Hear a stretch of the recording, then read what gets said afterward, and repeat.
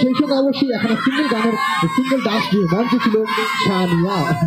কাকি রে পায়েল দিদি, দেখছি তারা, পায়েল দিদিকে রাজি করি যদি উঠে। দাঁড়া করছি একটু দেখি, চেষ্টা করি তোর পায়েল দিদিকে বলে যদি আসবে বলে তাহলে নিয়ে আসবে। হ্যাঁ, চিন্তার কোনো কারণ নেই বস অবশ্যই।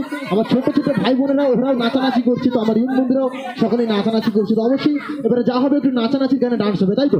তো চলো সেই সঙ্গে অবশ্যই পরবর্তীতে এখানে ফাটাফাটি জমজমাট নাচানাচি গানে ডান্স নিয়ে মঞ্চে ওয়েলকাম জানাব সেই দারুণ মিউজিক্যাল ডান্স প্রোগ্রামের পরবর্তী এখানে ফাটাফাটি জমজমাট সিঙ্গেল গানের সিঙ্গেল ডান্স